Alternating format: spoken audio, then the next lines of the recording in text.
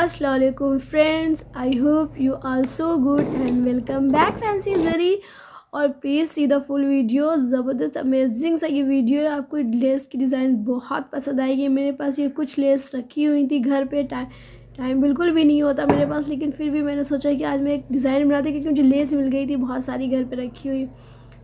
तो एक नई डिज़ाइन मैंने बनाई है तो सोचा आप लोगों से शेयर कर लूँ।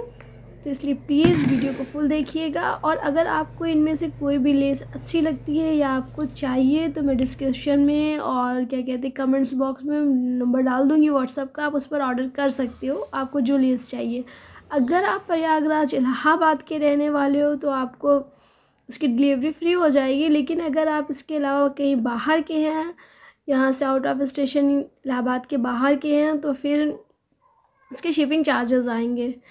तो ठीक है, ये देखिए मैंने ये, इसको जस्ट ये एक स्लीव्स की डिज़ाइन मैंने बनाई है और जो कि इसके सेम ये डिज़ाइन है कलर अलग है ब्लैक एंड वाइट मैंने दो कलर चूज़ किया है। इसके लिए इसको मैंने, इसके तीन लेयर करके मैंने ये डिज़ाइन बनाई है और फिर इसके बाद मैंने एक लेस और ली है, इसमें जिसके, जिसमें छोटे छोटे से सीक्वेंस के सर्कल बने हुए थे। पहले मुझे, मैंने इन्हें अटैच कर लिया इसके साथ।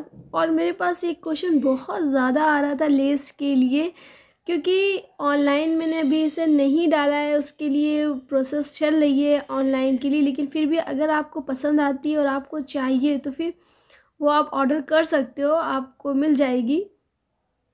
और ये है इसके जो सर्कल्स बॉल्स हैं, वो जो सीक्वेंस के सर्कल्स हैं, उन्हें मैं काट के इनसे अलग कर लूँगी। ये इस तरह से।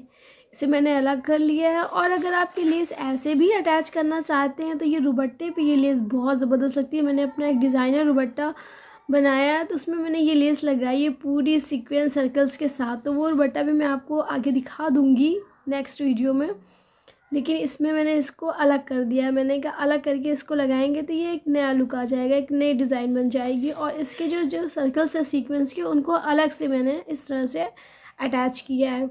अगर आप चाहें तो इसको ग्लू से भी स्टिक कर सकते हैं, वो भी बहुत आसान है, बस आपको थोड़ा सा इंतज़ार करना पड़ेगा कि ग्लू जो है वो एकदम सूख जाए। जब वो सूख जाएगा, फिर ये बिल्कुल भी नहीं फैब्रिक से निकलने वाले। लेकिन अगर आपने उनको सूखने से पहले टच किया तो वो निकल जाएँगे। तो उसके लिए आप एक दिन का वेट करना पड़ेगा, अगर आप इसको ग्लू से स्टिक करते हो। और अगर आप इस पर स्टिचिंग कर देते हो तो ये फ़ौरन ही अटैच हो जाएगा। ये देखिए कितना प्यारा लुक आ रहा है, इसकी कितनी खूबसूरत डिज़ाइन लग रही है स्लीव्स की ये। कुछ इस तरह से ये मेरी बन के तैयार हुई है। तो प्लीज़ फ्रेंड्स कमेंट्स में ज़रूर बताइएगा कि आपको कैसी लगी वीडियो पसंद आया तो ज़रूर लाइक कीजिएगा। ओके बाय बाय मिलते हैं नेक्स्ट वीडियो में।